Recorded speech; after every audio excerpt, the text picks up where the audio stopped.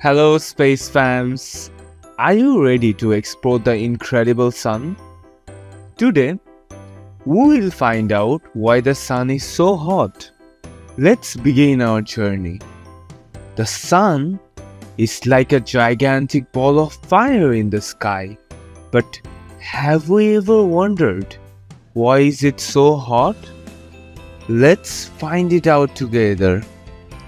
Here is a quick question for my space fans. Have you ever wondered what is the sun mostly made of? Take a guess, my young scientist.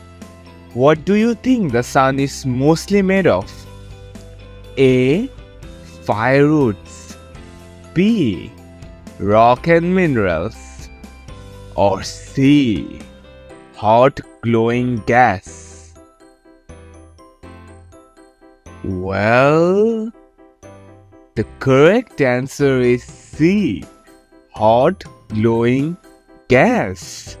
The sun is mainly made up of something called hydrogen gas, which is super hot and gives off a lot of heat.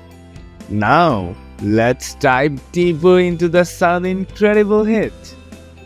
Time for our second interactive question. Get ready to test your temperature knowledge. So, how hot do you think the sun is? Well, think for a second. Okay, as hot as a million of degrees. Can you imagine that? The temperature at the sun core can reach an incredible 15 million degrees Celsius. That's a quite a lot of heat.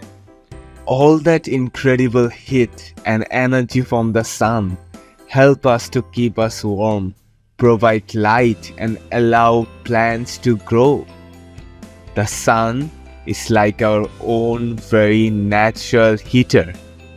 Whoa! The sun is a truly blazing marvel. We have learned why it is so hot and discovered fascinating facts about its composition and temperature. Keep asking questions and exploring the wonders of the universe. Until next time, my young astronauts, goodbye for now and don't forget to subscribe to my channel. See you next time. Ta ta.